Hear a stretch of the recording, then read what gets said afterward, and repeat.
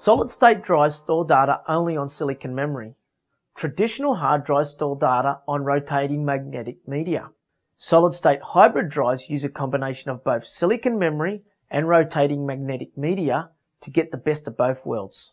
The easiest and most common way to compare the differences between each of these storage devices is to compare the cost, performance, and total capacity trade-offs. The traditional hard disk will always give you the best value when comparing dollar per gigabyte. Since solid state drives have no moving components, it provides the best speed in both read and write applications. However, that comes at a price premium and solid state drives are only available in smaller capacities. Hybrid drives combine both solid state and traditional hard disk technologies. Users can now benefit from higher capacities and read performance with just a modest price premium.